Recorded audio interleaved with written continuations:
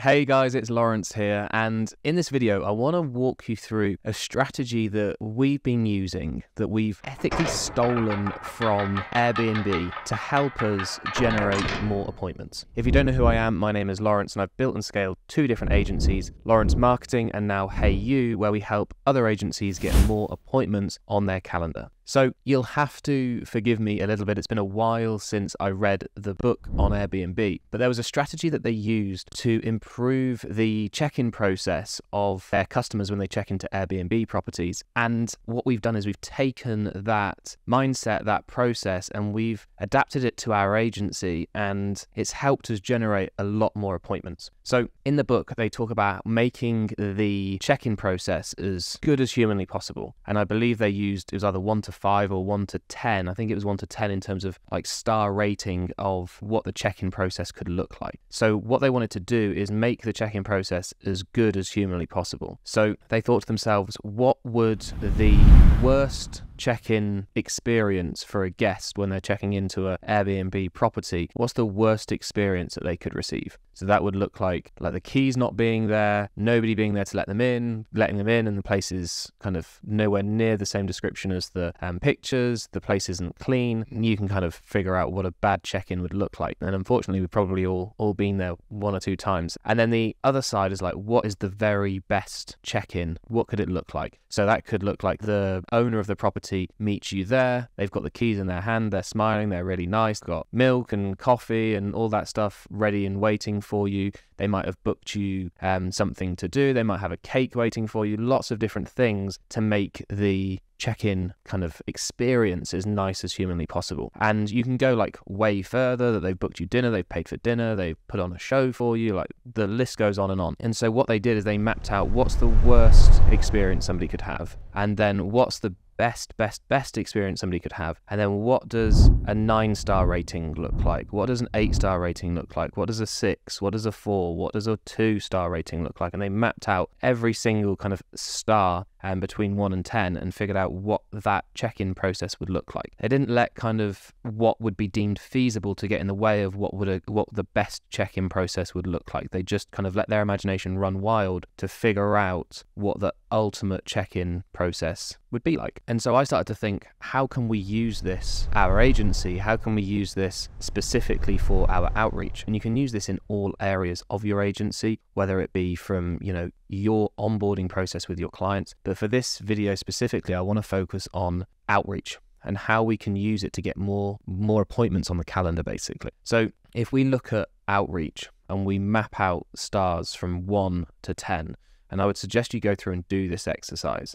Just do kind of 1 through to 10 on the side of the page and then along write down what a 10 out of 10 outreach looks like and what a 1 out of 10 outreach looks like. So if we say 1 out of 10, a one out of 10 might be a cold call where we just say, hey, we offer SEO services. Are you looking for SEO services? Boom. Never going to work. Not exciting, not enticing. Nobody wants to be cold called. 10 out of 10 could be something like, you know, physically turning up to their office and bringing them gifts, bringing them all sorts of things. You're only kind of limited to your um, what you can think of, basically. And it seems like I can't think of much at this stage. So you're really just limited to your imagination as to how good an outreach could be. So you would mark that at number 10. And it doesn't matter whether it's unachievable, you know, you can't fly out and meet somebody and go to their office and say hello. That's irrelevant. For this exercise, it's just about thinking what is the very, very best thing you could possibly do, regardless of money, regardless of everything. And then you work back one stage, or you go from one and you work forward one stage, and you kind of keep on going until you meet in the middle. And then what you're left with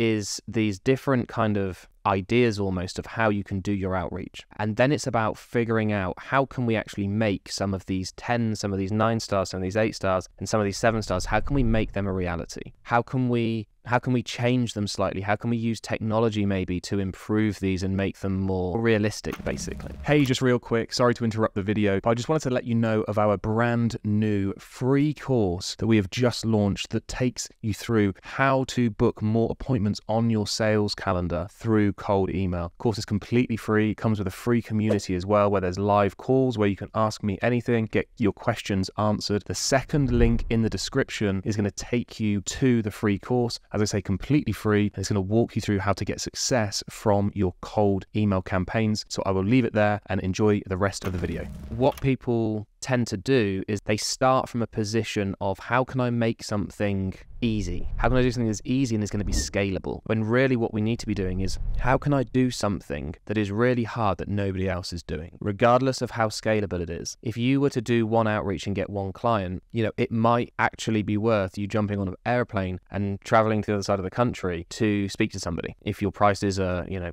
whatever they are and they stick around for a long time, then it would be worth it. So how can you do things that are regardless of scale are effective? That's the whole purpose of this exercise. Because what we want to do is we want to find something that works and then we want to figure out how can we scale it, not the other way around. Or should I say not works and scales at the same time. We don't care about scalability to begin with, and that's where 99.9% of agency owners they fall into that trap. How can I find something that works and is scalable? Or what is everybody else doing? How can I do the exact same thing?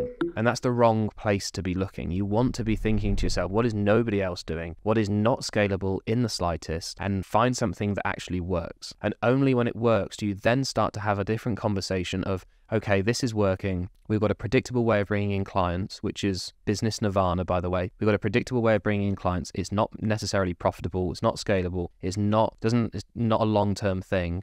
But how can we now solve these three things? Because that is infinitely easier to do than trying to do everything at the same time. So whether you can then utilize other people to, let's say, for example, fly out and meet somebody, or you can use technology to introduce somebody and set up a meeting before you fly out or whatever it may be. And I'm being kind of a little bit maybe unrealistic talking about flying to the other side of the country, but I'm just trying to give you examples of what you can do. You're limited only by your imagination. And as I say, if I can kind of get one thing across in this video, it is that you want to focus on something that works. Find something that is work that works regardless of scale. That's the number one thing that people miss instead of doing everything, trying to find out everything at the same time. Looking at YouTube videos, thinking, right, how can I do what everybody else is doing? Because what everybody else is doing is working and trust me, it is not. It is the things that nobody else does that work. It's thinking outside the box and having some critical thinking as to what is going to work as opposed to following everybody else. So take that Airbnb approach and you can take it, as I say, not only in the method of which you do your outreach, but you can also think about like when you're creating your offer. What is a 1 out of 10 offer? What is a 10 out of 10 offer? What is a 10 star offer experience look like? Even if it's completely out of the realms of possibility, what does a 10 look like? What does a 1 look like? And what does everything else in the middle look like? And when you have that conversation with yourself, with all areas of your agency, you're going to see things improve an awful lot. So, you know, how do I deliver my outreach? What do I say in my outreach? How do I deliver that with my onboarding with clients? What about my client communication and client experience? If you map that out and do that one to 10 star rating that I kind of stole from Airbnb that they use in their business, then you won't go too far wrong, basically. So I hope that's helped. Um, if you have any questions around that, then drop a comment below, let me know, and I'll be more than happy to help. And if you've got value from this video, please hit that like button, please hit that subscribe button, help the channel grow. We'll be bringing you lots more content. And if you want help installing a proven system into your business that is going to generate you qualified sales calls on autopilot, then click the first link in the description and we'll be more than happy to help. So thanks for watching and I will see you on the next one.